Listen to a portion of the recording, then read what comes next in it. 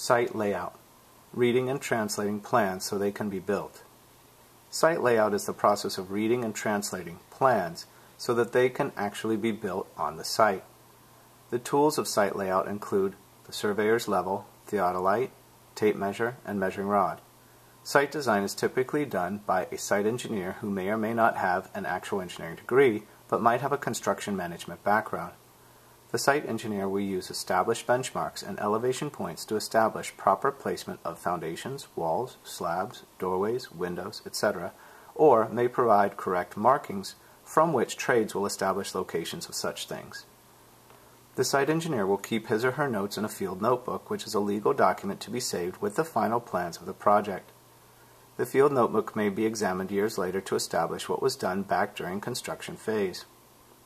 Site layout is the process of reading and translating the plans so that they can be built. Multiple choice question, site layout. A. Reading and translating plans so that they can be built. B. Establish site elevations from two separate sources. C. Process of leveling a level or theodolite on a tripod. D. Designing site plans from information from a site survey. Well, the best answer choice from what we've been given in this case for site layout is A, reading and translating plans so that they can be built.